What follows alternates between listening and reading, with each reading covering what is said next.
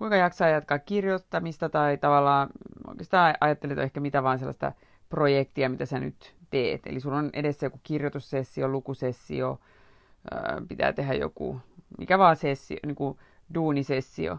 Ja tota, tuntuu, että ah, nyt mä en jaksa. Nyt mä, nyt mä alkaa kyllästyä, että mä en jaksa. Miten sitä jaksaa? Miten sitä saada sitä uutta potkua? No, viisaita pitää pieni breikki. Oikeasti. 15 minuutin breikki, 10 minuutin breikki. Mm, ja sen aikana lähtee mielellä liikkeelle, nousta ylös, käppäillä vähän edestakas, käydä vaikka kävele kortteli ympäri. Ehkä jos et ole syönyt muutama tuntia, niin ottaa vähän jotain, mikä, mistä saat lisää verensokeria, koska se on tutkittu juttu, että kun veresokeri laskee, meidän itsekuri, itsehillintä, tahdonvoima, huom, tahdonvoima vähenee ja myös se tavallaan niin kuin se henkinen vääntövoima vähenee. Sitten kun se veresokeri saadaan nousuun, niin sitten se henkinen vääntövoima taas paranee ja sitten pystytään hoitaa se asia loppuun. Ää, joskus se tulee se, mitä me koetaan, niin kuin, jos mä ajattelen vaikka käsikirjoittaa, jos mulla tulee eteen kohtaus, joka tuntuu mun mielestä, mä oon silleen, niin kuin, ah, vitsi, nyt tuntuu tylsältä. Se on yleensä merkki siitä, että, että mun pitää niin kuin, tavallaan nousta ylö, niin kuin katso, miet, katsoa se kohtaus, käydä tekemään pieni käppäilylenkki tai jotain, ja sen aikana myös vähän niin kuin fiilistellä, että mitenköhän tämä, tämä varmaan pitää tehdä jotenkin toisella tavalla. Koska jos se tuntuu tylsältä siinä niin kuin kirjoittaessa, niin kyllä se tuntuu tylsältä lukiessa tai katsoessakin. Niin, niin se tarkoittaa vaan sitä, että siihen, yritän nyt, että siihen pitäisi löytää joku uusi kulma. Ja just usein sitten, kun nousit ylös ja käppäilet ympäriinsä, niin sitten sieltä sitten löytyy se joku uusi kulma. Öm, ja sama pätee sitten niin kuin mun mielestä oikeastaan kaikkiin muihinkin juttuihin. Öö, tällaisen väitteen kuulin, että meidän aivot tarttis, että jos, mä, jos sä oot, vaikka opiskelet jotain, tai se mitä sä teet on sellaista, missä joudut niin kuin, tavallaan kelaa asioita tosi paljon, niin väitteen, että, että meidän aivot ikään kuin tarvitsee tällaista bufferointiaikaa. Eli, eli tavallaan niin kuin, ää, että jos tykität aivosta täyteen jotain juttua noin 45 minuutin ajan, niin sen jälkeen olisi hyvä pitää 15 minuuttia breikkiä, mikä itse asiassa, mä ajattelin, että kun mä kuulin tämän just Mel Robbinsilta taas, mä kuuntelen Mel Robbinsia nyt joka päivä, mä saan sieltä uusia juttuja, niin tota, ää, Mel Robbins, Robbins viittasi johonkin tutkimukseen, jossa oli huomattu, että, että jos ihminen, jos sä niin tavallaan intensiivisesti teet jotain noin 45 minuuttia, niin sen jälkeen tarvitset noin 15 minuuttia toipumisaikaa. Ja tämä pätee myös siihen, että jos sulla on ää, 45 minuutin palaveri, niin sitä tarvitset 15 minsaa ää, niin kuin aikaa aivoilles toipua siitä. Ja sellaista aikaa, että sä et tee oikeastaan mitään niin kuin sellaista aivoja intensiivisesti kuluttavaa, tai niin kuin semmoista, joka vaatii intensiivistä huomioon, että sun niin kuin tavallaan aivot pystyy prosessoimaan sen datan, mitä juuri tuli. Vai olisiko se ollut niin, että se oli nimenomaan aina 5 minuuttia per 15 minuuttia? Eli jos olet käyttänyt 15 minuuttia intensiivisesti opiskelet, sen jälkeen pitäisi pitää 5 minuutin breikki, tai jos puoli tuntia intensiivisesti opiskelet tai kirjoitat, niin kuin luet, teet jotain, missä joudut kauheasti miettiä kelaa, tai joudut olemaan palaverissa, niin sitten sun pitäisi aina sen jälkeen pitää sitten 10 minuuttia, jos sä teet kolme varttia, niin se on 15 minuuttia ja niin edespäin. Ja jos sulla on siis, niin, jos sulla on joku tunti, niin sitten saat 20 minuutin breikki, olisi sen jälkeen hyvä pitää aivoille. Et se on yksi, yksi myös semmoinen pieni vinkki. Ja sekin on hyvä muistaa, että meidän nämä, nämä tuota, vireystasot vaihtelee pitkin päivää. Kannattaa itse vähän kirjailla ylös päivän mittaan niitä omien vireystasojen vaihtelua muutaman päivän ajan. Niin sitten myös näet itse, että milloin, sulla on, niin kuin, milloin sä oot skarpeimmillaan. Valtaosa ihmisistä on skarpeimmillaan aamupäivällä tekee sellaisia juttuja, missä tavallaan vaaditaan sellaista niin kuin, niin kuin asioiden miettimistä, niin kuin tietoista miettimistä ja kelaamista. Ja sitten useimmat on sitten taas iltapäivällä voi olla taas luovemmassa tilassa, kun niiden aivot ei, niin kuin, tietyt aivot ei jaksa vähentää niin, niin tietyt testot myös katoaa.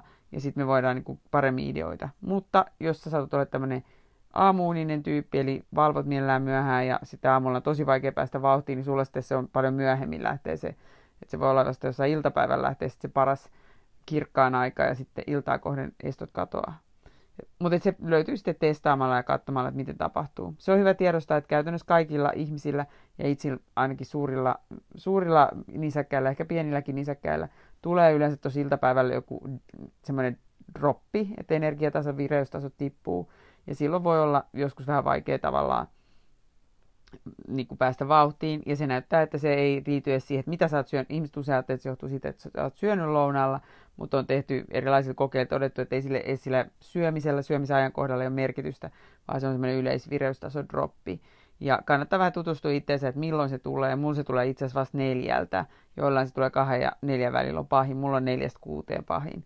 Mutta sekin taas kirjaat ylös, ja kun sä tiedostat sen, niin myös ymmärrät, että, että onks, voi miettiä, että onko tämä nyt hyvä aika tehdä näitä asioita.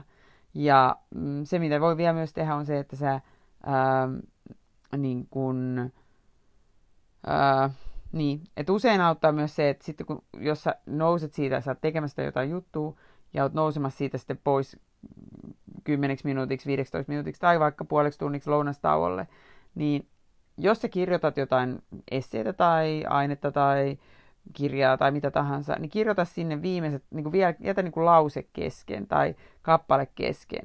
Tai hahmottele sillä ranskalaisilla viivoilla, mitä sä teet seuraavaksi, jotta kun sä palaat siihen koneelle, ei jätä se päällimmäiseksi siellä tietokoneella. Älä mene mihinkä Facebookiin surfaa. Facebookin surfaaminen on taas sitä aivojen tukkimista, somessa surfaaminen tukkii sun aivoja, vaan että kun pidät sen breiki, niin nouset ylös, meet käppäilee, kuuntele ehkä musaa, venyttele, syö ja yritä pitää niin kuin aistit tyhjinä. Ehkä, ehkä musaa voi just just kuunnella. Ja ei, no ehkä just just voi jotain Instaa katsoa, missä on vaan kuvia, mutta sitten jos sulla pitää tekstiä lukea, niin ei ehkä ole hyvä idea.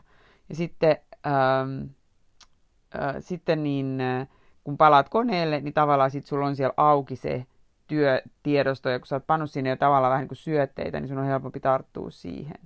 Ja sitä kautta päästä taas. Tai jos sä oot lukemassa johonkin kokeisiin tai muihin, niin jätä niin kuin lue tavallaan lause ehkä kesken, tai sitten, no ehkä lukiessa mä voisin tehdä lukea niin kyllä melkein jo kappaleen loppuun, mutta jätä sitten se kirja siihen auki, ja kun tuut takaisin, niin mä ehkä, tai sitten luet sille just ihan kappaleen alun, tai silmäilet, että mitä siinä seuraavassa kappaleessa on, jos sä luet vaikka pääsykokeisiin, jonka jälkeen sitten sun on helpompi ää, niin kun käydä, katsoa ne läpi, että niin kuin tavallaan, että kun sä oot jo vähän niin kuin syöttänyt sinne, että mitä tuleman pitää, niin sitten sun aivot ehtii hauduttaa sitä. Ja sitä kautta sitten taas päästä niin kuin helpommin kiinni. Ja mä toivon, että näillä vinkkeillä nyt sain vähän jotain sellaista, että miten voi pitää sitä motivaatio yllä. Et mä, mä pidän itse breikin aina silloin, kun musta alkaa tuntua, että nyt ei ole.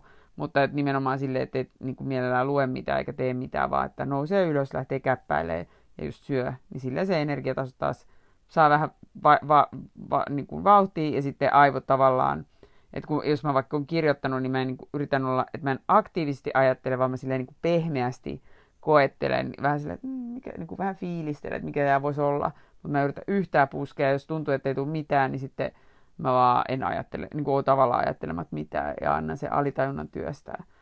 Ja sitten kun mä tuun takaisin, niin kyllä sitten yleensä lähtee, että no niin, nyt lähdetään. Ja kun siellä on valmiiksi jotain syötetty, vähän ranskalaisia viivoja, niin sitten se pääsee paljon nopeammin taas kiinni siihen kirjoittamisen makuun.